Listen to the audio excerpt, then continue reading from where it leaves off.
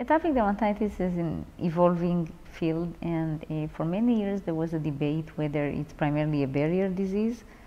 uh, or primarily an immune driven disease and there was not a clear cut answer because the only way to prove it is actually to target specifically the immune system and to show that you reverse the barrier.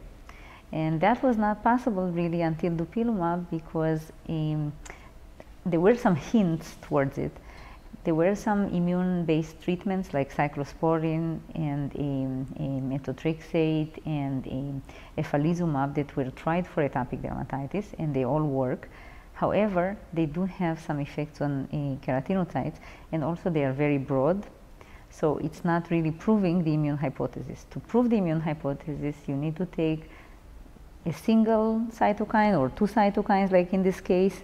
target them and then show that basically you reverse the barrier and that's proving the immune hypothesis. And that's exactly what happened here because with dupilumab we showed that not only the clinical disease activity was reversed, but by suppressing the cytokines you also reversed major features of the barrier such as the thickness, the epidermal hyperplasia, the S100s that are very increased and you show the trend to improve filaggrin and loricrin.